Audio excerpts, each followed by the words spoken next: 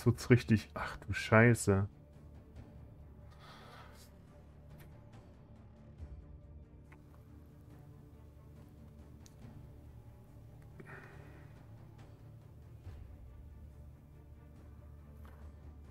Oh.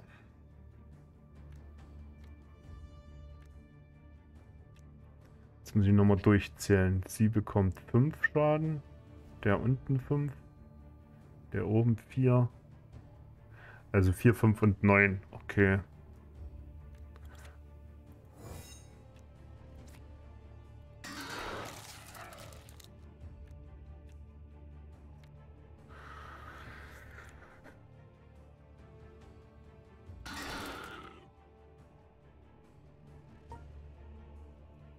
So.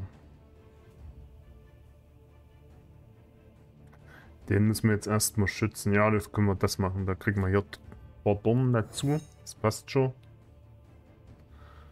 Ich glaube, so würde er jetzt erstmal einen Schaden fressen, aber das wäre egal.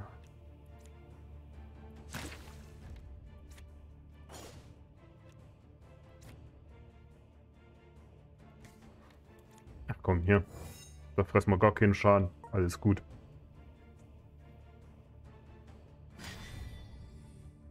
Also der Kampagnenmodus, da hat man dann noch so ein bisschen eine eigene Festung, die man aufbauen muss. Und dort hast du auch alles drin mit, mit äh, Schmied und alles. Da kannst du dir eigene Waffen craften und sowas. Das ist dann, dann nochmal ein Stück komplexer. Das ist jetzt hier so ein Modus wie, wie Slay the Spire oder so. Du einfach nur durch die Dings durchmarschierst.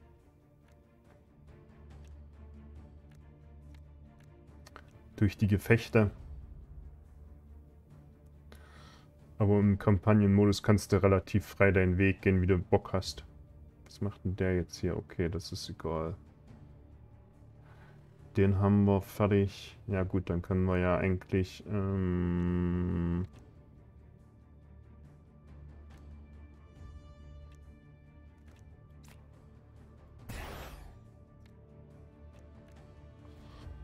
das Geile ist hier eben, du hast acht verschiedene...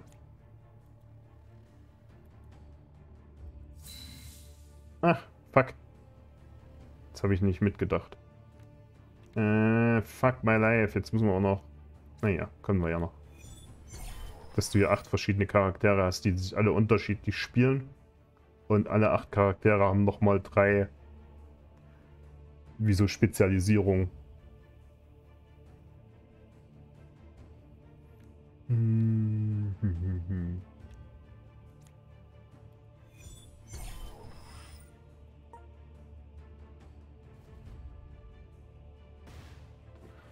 Und im Kampagnenmodus hast du dann sogar noch die Möglichkeit zu unterscheiden zwischen normalen Modus, was einfach ist, Roguelite und Roguelike-Modus. Bei dem einen, da kannst du, da werden die beim ersten, wenn du da in die Stadt zurückgehst, also in deine Basis da, da werden die komplett geheilt, also kannst du komplett heilen. Bei einem anderen, wenn sie... Nee, warte mal, jetzt muss ich ja mal überlegen, ob ich das zusammenkriege. Also beim einen, wenn sie da sterben, beim ersten, ich glaube, das sind die nach dem Gefecht wieder da. Nee, nee, nee, da musst du in die Stadt gehen, die, die wieder beleben. Oh, ich weiß es gar nicht mehr. Irgendwie beim, also beim dritten war es dann so, sobald ein Verbündeter gestorben ist, dann kannst du den auch in der Stadt nicht mehr wiederbeleben. Dann ist er halt weg. Das war so das, das Schwierigste. Und dann hast du dort noch, glaube ich, zwei oder drei verschiedene Schwierigkeitsgrade. Äh, jetzt muss ich mich mal hier konzentrieren.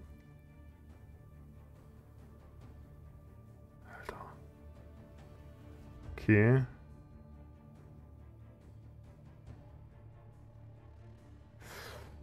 Fünf, null und elf.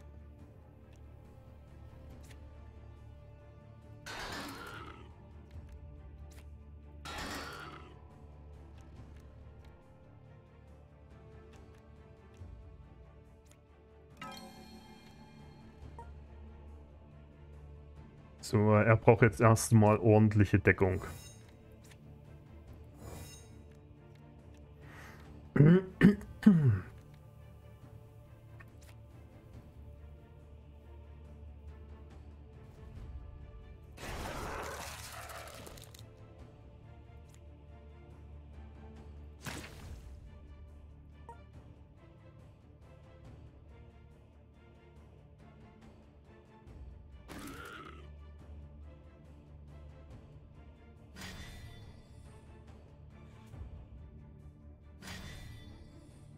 Ist halt schade, dass unser, dass unser Bier dort oben schon ein bisschen Schaden gefressen hat, wären wir hier aller Voraussicht nach komplett schadensfrei aus dem Kampf rausgegangen.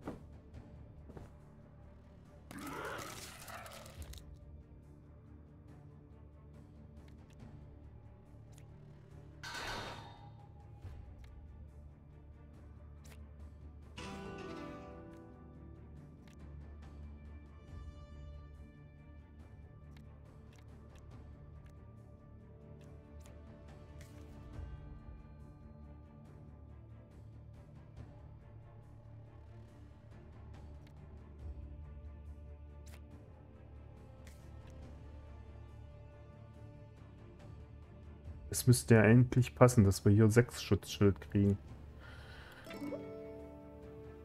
Achte sogar. Na, das das, das habe ich jetzt nicht ganz verstanden, wo die jetzt die achte herkam. Aber egal, freuen wir uns. So, du kriegst noch eine Portion Gift und dann Bats und nochmal Bad.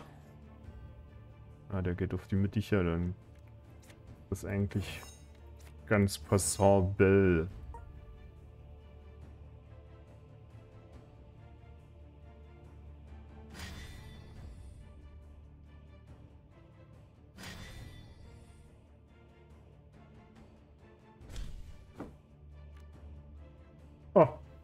Das juckt mich, ne, wenn die in der hintersten Reihe steht. Die ist eh mehr so dafür dazu zu arbeiten.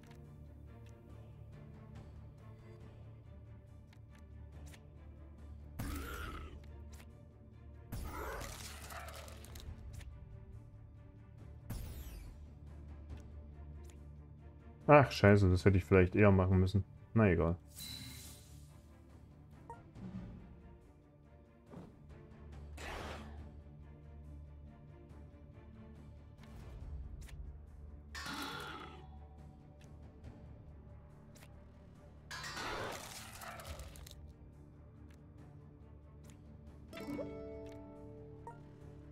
So, na dann.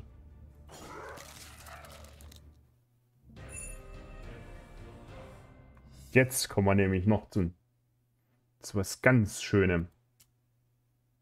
Gut, das ist jetzt doch mal eine Zusatzüberraschung. Aha. Oh, oh, oh, oh, oh. Episch. Episches Schwert. Nee, legendär. Nahkampfangriffe ziehen Ziele heran. Plus 1 Angriffsschaden.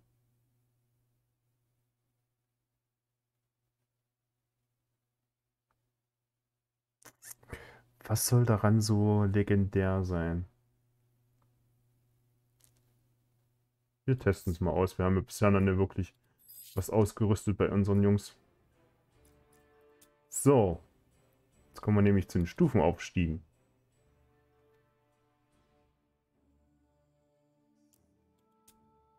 So.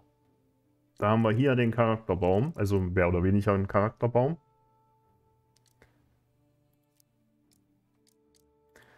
Momentan ist das alles noch witzig. Wenn man hier lange genug überlebt und das besonders dann beim Story-Modus kommt, steht hier oben drin, gibt drei weitere Fertigkeitspunkte aus, um das nächste Fertigkeitsraster freizuschalten nochmal so ein Raster, was man sich frei hier dran basteln kann. Und so weiter und so weiter und so weiter. Hier kann man neue Karten freischalten. kriegt man Fähigkeiten. Das habe ich bisher noch gar nicht rausgekriegt, wie das funktioniert. Also es wird dann beim Aufbau des, der, der Charaktere wird das dann richtig, richtig komplex.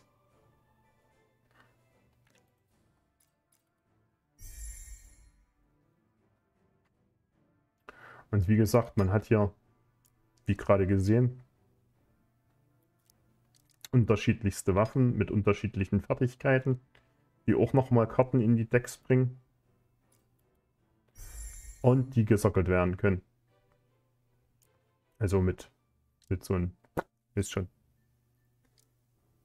So, jetzt muss ich aber erstmal gucken. Also hier mit, mit so einem, so ein, so ein, so ein, so ein, wisst schon. Wie nennen sie sich? Fluchte Scheiße. Ressourcen. Hier. Warte, warte, ich sehe es gleich, ich sehe es gleich. Ruhen, genau. Wo nochmal Ruhen eingearbeitet werden können. Das hier hinten, das sind so die ersten sieben Relikte, die ich freigeschaltet habe von 55. Da, die bekommst du nämlich für, für gute Runs.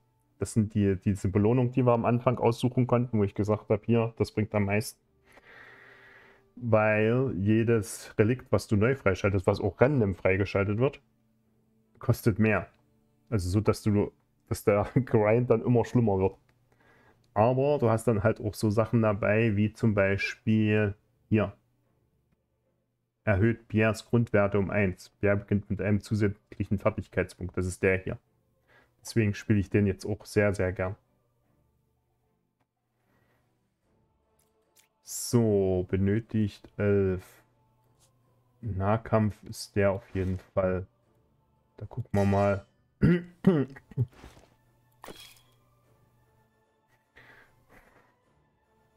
Nahkampfangriffe ziehen Ziele heran. Das muss ich im Kampf austesten, was das großartig bringen soll. Das bringt ja eigentlich eher Unordnung in der Formation, an die man sich gewöhnt hat. Na, mal gucken. Mal gucken. Ach, wir haben bloß einen Gegner. Uh, der fällt böse aus. Eigentlich könnte ich ihn ja dann mal bestimmen, dass er in die erste Reihe vorgeht.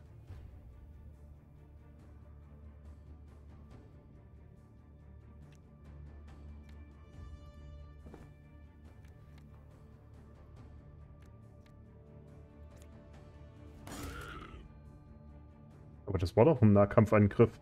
Und da hat er den Ohr nicht zu sich rangezogen. Hm. So, die kriegt momentan alles ab. Das ist halt... Aber das könnten wir aushebeln.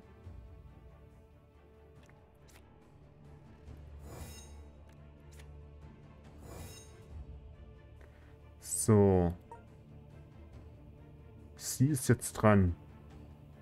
Da gehe ich mit ihr hier hinter, dann müsste er ja jetzt sich umorientieren auf ihn. Okay, cool. Cool.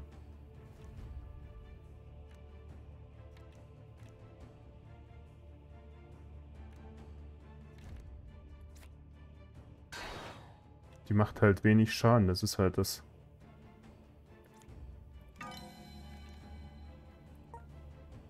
So, jetzt er. Ah, ja dann. Hätte ich mir gar nicht so einen Kopf zerbrechen brauchen, hätte ich gewusst, dass der gleich so eine gute Karte in die Hand kriegt. Oh. Naja. Zu früh gefreut. Eisresistenz. Egal. So. Machtbeschwörung oder Hervorrufung. Ätherische Objekte, die schützen und Schaden zufügen. Schaden zufügen. Ja, ich würde mit dem eher ein bisschen defensiver spielen wollen.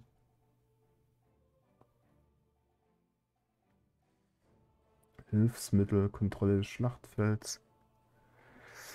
Feuer und Eis.